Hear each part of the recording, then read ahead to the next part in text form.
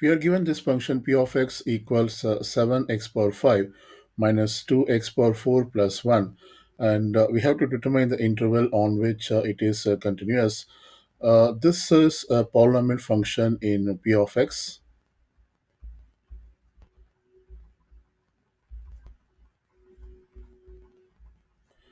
and uh, we go by the statement that all polynomial function are continuous on their domains.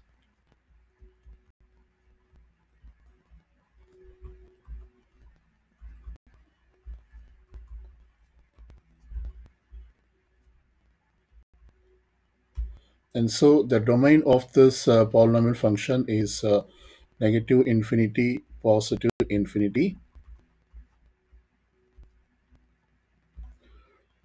Because uh, it is defined for all x values in real numbers.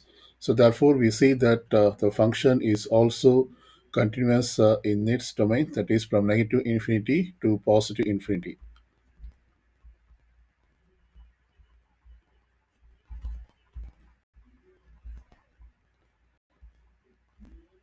And so this is the interval in which this function is continuous.